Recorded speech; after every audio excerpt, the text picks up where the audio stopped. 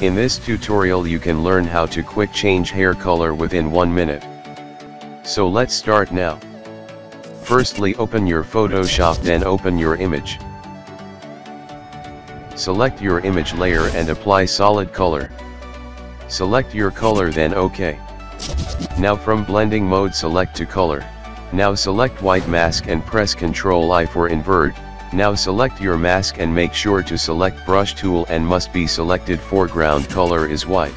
Now drag on your hair for apply your color.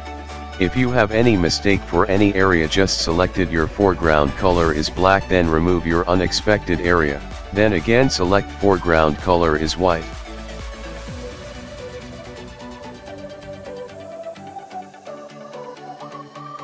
Now opacity decreases low for more realistic color. If you want to change your hair color just double click on solid color and select your desire color, then OK.